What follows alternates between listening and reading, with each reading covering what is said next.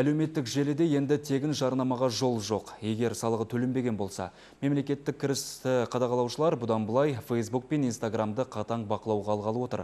Себебі қадағалаудың жоқтығынан олар нағыз алым-сатым кеңістігіне айналып кеткен. Үкіметке де одан түсіп жатқан көк түйін жоқ. Бірақ салықшылар жарнаманың бұл түрін енді бұғаттамақ. Сондықтан тек жеке кәсіпкерлікке рұқсат алған тұлға ғана Facebook пен Instagramға жарнама салуға құқылы. Бірақ бұған қарсылық көп болатын сияқты. Бұл Алматыдағы шағын шеберхананың бірі ұлттық нақыштағы заманауи үлгідегі киізден киімдер тігеді. Әлеуметтік желіде де өте танымал. Жеке парақшасына күніне түсер тапсырыс та көп.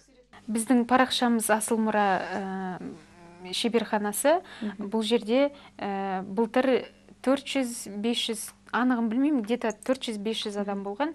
Ә, қазіргі таңда бір жылдың ішінде 13 мың адам жиналды.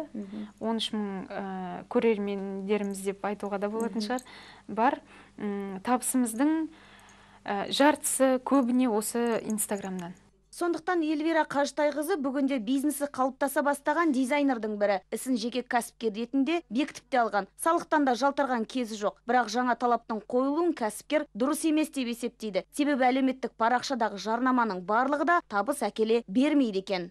қолөнершілерге ә, тағы да бизнесін жүргізушілерге ә, менің ойымша қиындау болады. Бір белгілі бір табыс тапқаннан кейін оның бір шегі болу керек сияқты. Сол, сол кезде уже ә, салық салуға ә, болатын сияқты. Бірақ уақыт берілмейтін тәрізді себебі әлеуметтік желіні тегін жарнамадан арылту шарасы басталып кеткен. Әрі салық заңы да көпке қашаннан ортақ. Яғни жеке табыс табуға мүдделі кез келген тұлға жеке кәсіпкер дәрежесін алып үкіметке салық төлеуі міндет. Тек содан кейін ғана жарнамасын қайда болса да жасай беруіне рұқсаты бар. кез келген жеке тұлға жеке кәсіпкер ретінде тіркелу қажет ә, табыс тауып жатқан жағдайда дегенмен айта кету қажет ә, бұл жерде. Он- бұндай міндеттеме ә, кез келген кәсіпкерлікпен айналысатын жеке тұлғада пайда болмайды. Яғни оның табысы 12 төменгі айлық есеп айлық жалақыдан асқан уақытта бұндай міндеттеме пайда болады. Бұл дегеніміз шамамен алғанда 250 мың теңгені құрайды.